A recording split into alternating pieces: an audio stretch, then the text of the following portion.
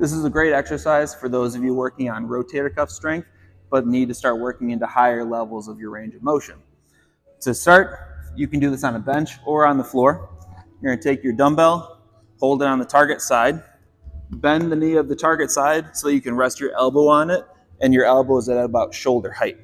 Keep your chest and shoulders square so you're not too opened up. And then from there, you're gonna let your hand start as low as you're comfortable going without this shoulder rolling too much or doing anything funky with our body. From there, elbow is going to stay resting on your knee as you perform external rotation up to neutral or 12 o'clock position, and then slowly return to the start position.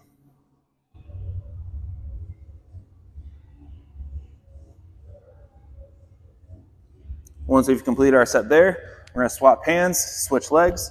Again, knee bent, elbow resting on the knee at shoulder level, hand starting as low as we're comfortable going, and then slowly up to neutral, and slowly return to the start.